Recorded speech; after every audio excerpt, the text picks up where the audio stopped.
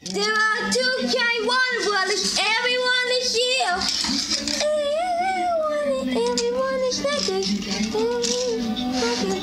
Everyone is snackers. The show has WB Warner Brothers.